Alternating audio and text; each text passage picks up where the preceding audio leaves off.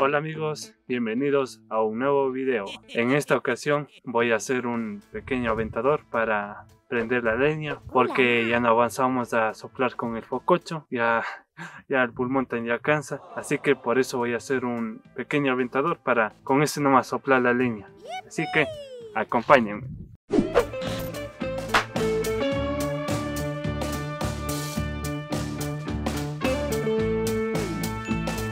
Aquí tenemos el primer material que es para hacer el aventador y son las totoras.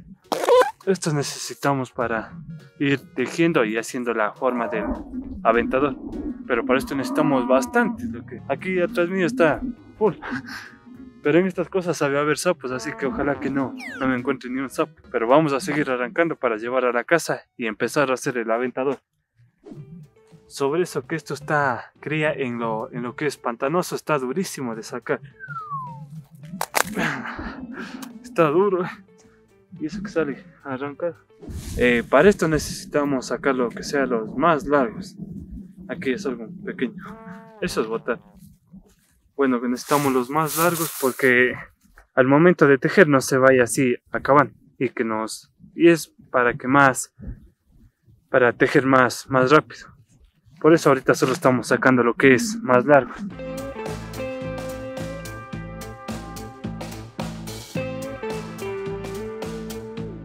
Y por cierto, les cuento que estoy con mi mami, mi camarógrafo. Nosotros cuando éramos guambras chiquitas, esticos recogíamos para llevar a la casa para hacer la, para cocinar, porque sequita es bonito de cocinar esta leñita, esta totora que seca aquí, es, puta, los sapos ahí, por eso no dejan nomás coger así despacito, viendo, viendo, toca con juvenal y hasta temblando. Dice yo que solo vine así con zapatos nomás.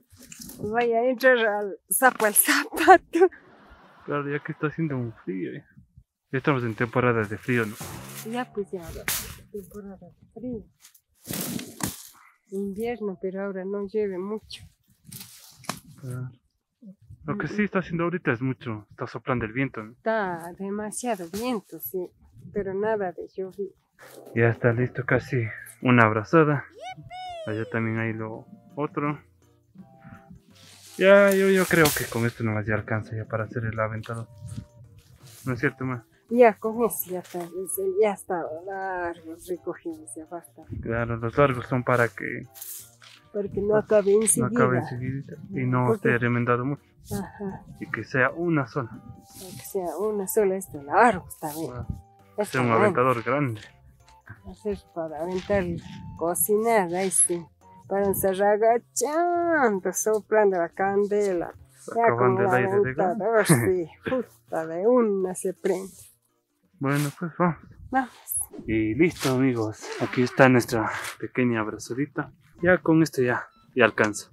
Y además yo también ya creo que con esto alcanza porque el aventador casi no se utiliza mucho. Pero ya con esto ya alcanza. Ahora sí, vamos a la casa a hacer el aventador. Y hemos llegado a la casa con las dos horas. Vuelta ahora voy a hacer un, una pequeña cruz para de aquí guiarme y hacer el aventador. Y aquí ya tengo estos dos palitos, ahora voy a raspar con el machete para que se quite estas, estos pincitos del palo y que no claven los dedos.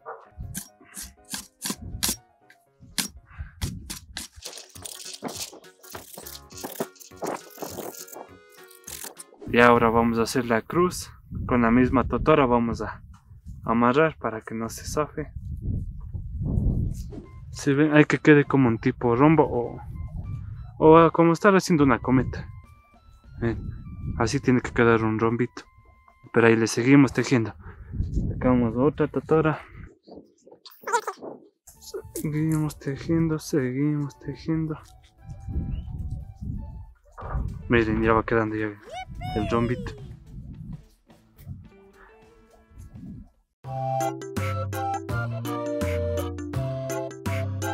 Y seguimos haciendo el aventador aquí con mi mami. Ella me está ayudando a pelar las. Yo sigo pelando las, totoras. Las totoras. Para que Juvenal siga trabajando el aventadorcito. Ahí ocupábamos siempre nosotros este aventadorcito. ¿Por qué dejaron de utilizar este? Porque ya somos aventadores esos. Y ahora sabe vender de qué siendo tan de...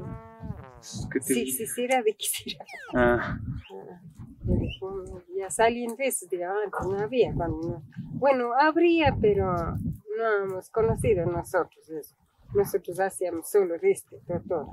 Puta, con la totora hacíamos nosotros hasta soga, hacíamos soga, hacíamos unos canastitos chiquititos para andar, cualquier cosa, más antes de yendo a la clase, también unos canastitos ahí andar, pues vamos a comprar mote.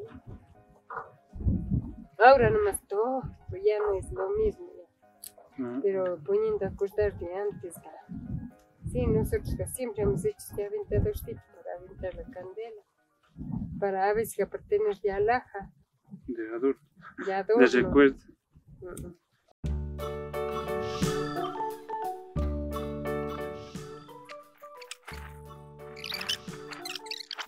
Y hemos terminado la primera tejida.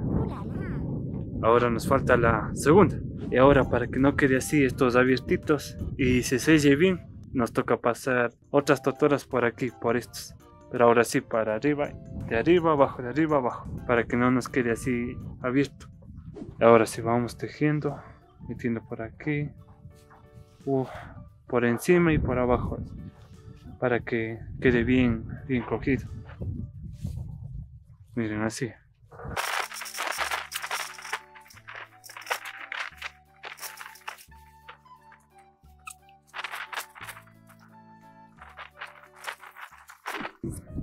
Y seguimos. Y lo que está haciendo mi mamá. Nunca sí estoy atinando, pues hacer como hacía el guambro. Ah, usted sí ya sabía hacer el guambo. Aventadorcitos bonitos así. Por eso ahora estoy haciendo, porque ya no tengo aventadas para soplar la candela. Tiempo antes recordaré. Eso parece buen tejido que está acá. Tejido de chimpo. Yo en mi mente lo veía más bonito.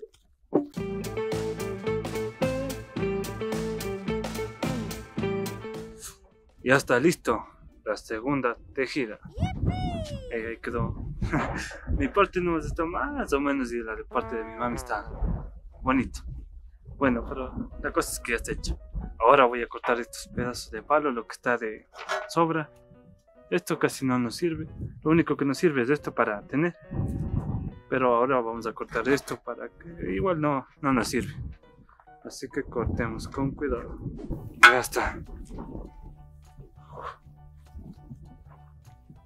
Ahora vamos a pasar aquí, envolver esto con totoras para que no quede así el palo solito.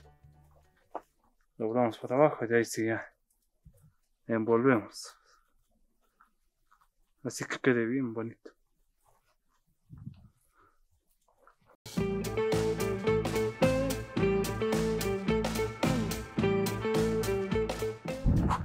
Ya está listo nuestro aventador casero. Eh, vean con su mango de totoras hizo. Eh, ahorita como el viento. Ya está como ala de gallina. Está listo para soplar la, la candela. Ya, listo.